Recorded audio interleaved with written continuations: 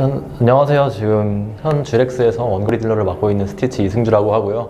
어, 일단 첫날부터 좀 어, 상대적으로 좀 쉽게 이긴 것 같아서 너무 다행이라고 생각하고 어, 사실 지금 이긴 것도 뭐 개인 기량이 좋아서 이긴 게 아니고 팀워크가 잘 맞아서 이겼다고 생각하기 때문에 더욱더 기쁜 감정이 있는 것 같습니다. 어, 일단 아직까지는 되게 만족하는 것 같고요.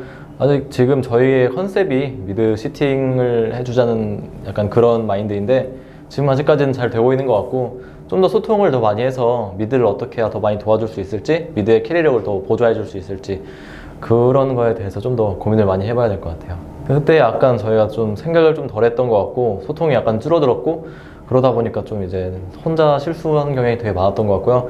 어, 3 liner 분이 약간 그 PK가 어, bottom에서 한번 실수해서 죽고 저희도 이제 바론에서 의사소통 문제로 좀 늦게 빼고 그런 것 때문에 되게 겹치고 겹쳐서 더 안 좋아졌던 것 같고 그래도 꾸준히 더 이제 멘탈 잡고 다들 이기자는 마음이 간절하다 보니까 잘 된 것 같아요.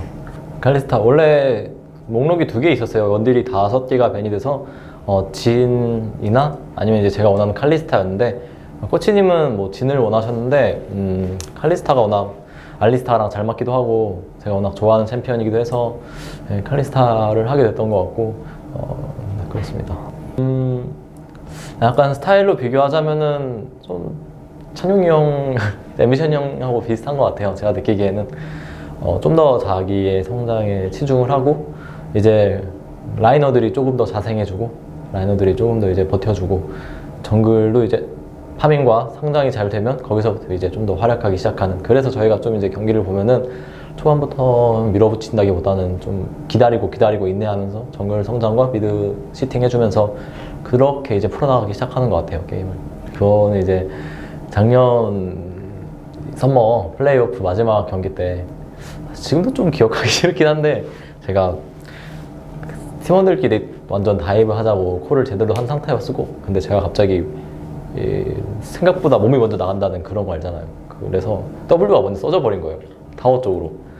그 상태에서 원래 저는 당연히 kill각을 보고 들어갔는데 mana가 한 2인가 3인가 부족해서 어, 칼리스타를 결국에 못 잡고 저는 거기서 그 상태에서 죽어버리고 저희는 이제 완전 dive 설계 다 했는데 완전 거기서 게임을 제가 말아먹어버려서 그게 아직도 그 꼬리표처럼 물고 늘어지는 게 아닌가 싶어요.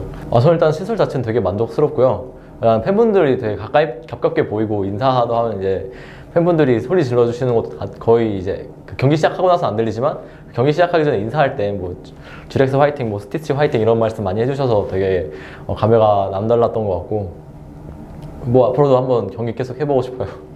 아 다음 경기도 깔끔한 모습으로 찾아뵙겠습니다. 감사합니다.